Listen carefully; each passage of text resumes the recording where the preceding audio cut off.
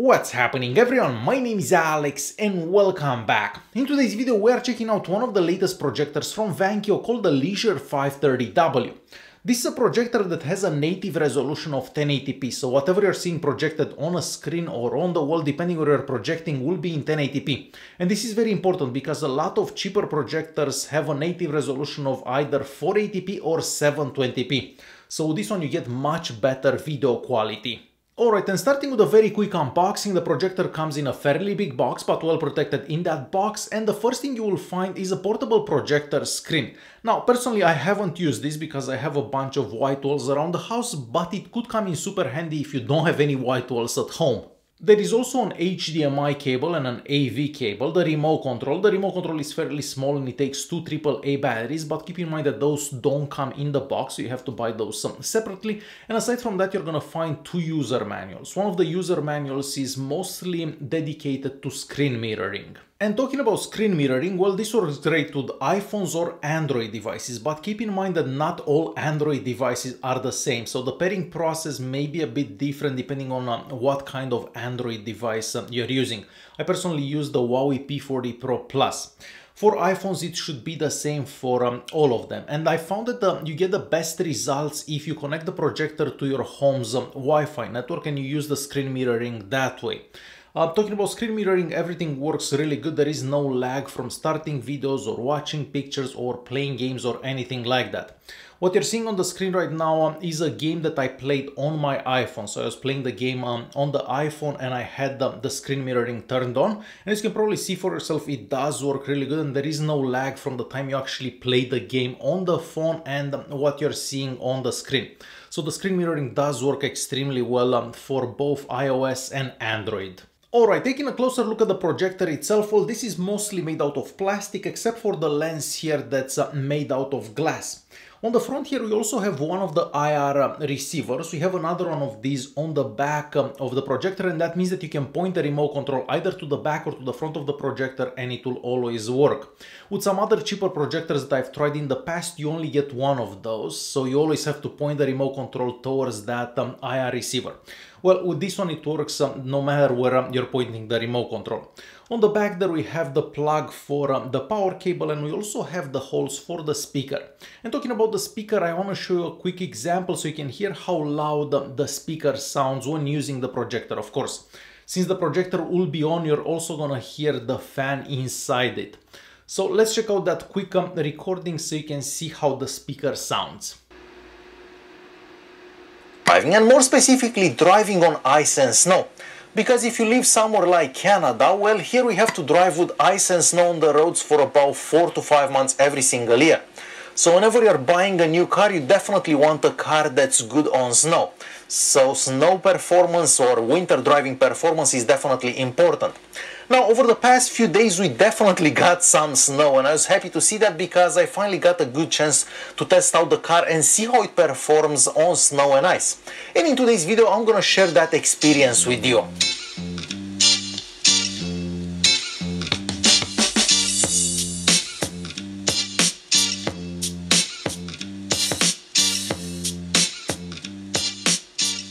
So depending what Model 3 you get, you And as you've heard for yourself, the speaker inside the projector does sound quite good and probably the best that I've heard from one of these affordable um, projectors. You can always attach external speakers if you want better sound. So on the left and on the right hand side here we have holes for heat dissipation and keep in mind that we have that um, fan inside the projector that will help um, with heat dissipation. On this side here we have the focus um, adjustment and you probably notice that we don't have a keystone adjustment. Well, that has to do the fact that we have auto keystone adjustment. So the projector can do that um, for you, which is definitely a bonus. On the other side of the projector here we have a USB port, we have two HDMI ports, we have an AV port, um, the 3.5mm audio jack and a slot for an SD card.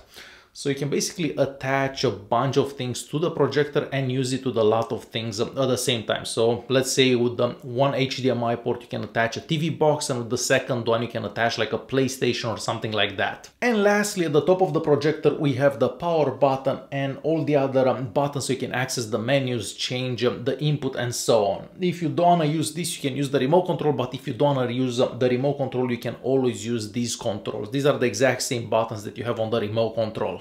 So from what I've seen, the LED lamp inside it is bright enough so you can actually use the projector in a fairly bright room. Um, this is a recording that I've done about two or three days ago and um, that room was fairly bright.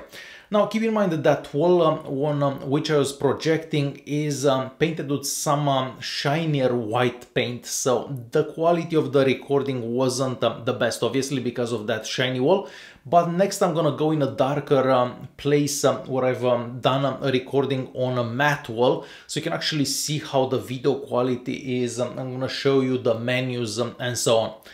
So let me take the camera to that other room and we'll go from there. Alright, so I want to show you quickly the projector's menu and see what um, is available. So I'm using the remote control and you can basically use the remote control no matter where um, you are because um, the projector has one sensor on the front and one on the back.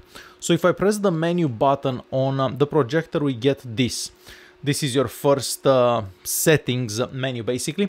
For picture mode here you can change the way the picture looks like. So if we change to soft or um, vivid, you can make um, the image a bit more vivid, but I find that the standard one um, works best for me. I'm just gonna scroll down through these just so you can see them all.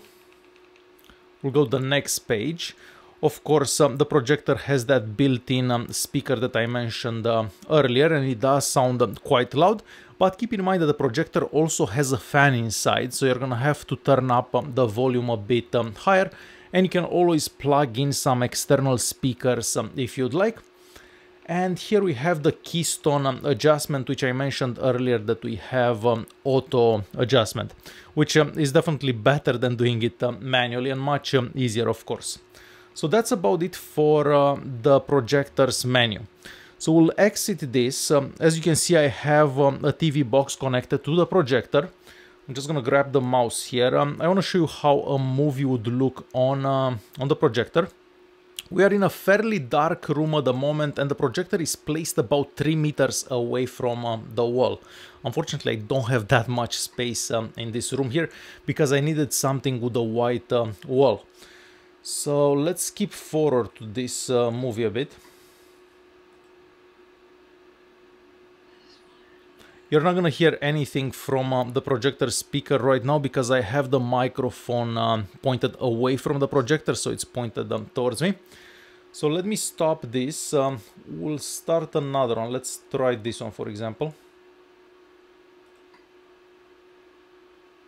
I just want to show you the image quality while playing uh, a movie. We'll skip forward once again.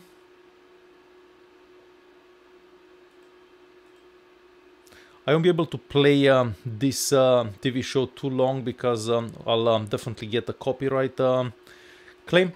So I just wanted to give you an idea how um, this would look.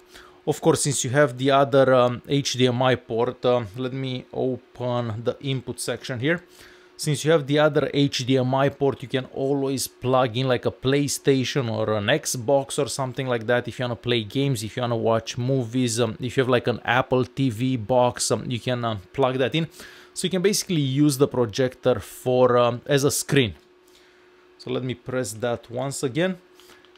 And then we have that USB port. So if you have some movies on um, a USB stick, for example, you could play them um, on the projector. But I find that most movies, TV shows, etc. will actually work better if you have a TV box or um, something like that because those support more formats um, and so on. Not to mention that you can play files that are in 4K, um, etc.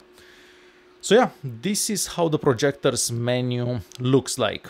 So the projector like this, you can basically use it as a screen for anything, for a laptop, for a TV box, for an Apple TV box, um, whatever you have, you can basically use on this. You can also play games on it. If um, you have a PlayStation or something like that, um, you can connect that to the projector and you can play games on a bigger screen. And this is an example of a game that I played on two days ago or yesterday or something like that um, in a darker um, room. So let's check that out.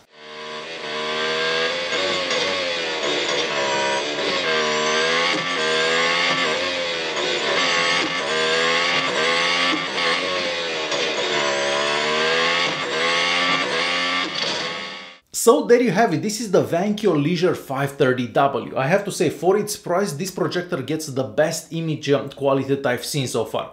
But in all fairness, most of the other um, projectors that I've tried in the past had uh, a native resolution of either 480p or 720p. So 1080p, this is definitely a step up. It seems to be bright enough to be used in most situations and the speaker inside it is also pretty loud. So if you're looking for an affordable entry-level projector, this is definitely one that you should consider. Alright, thanks for watching and I will see you in the next one.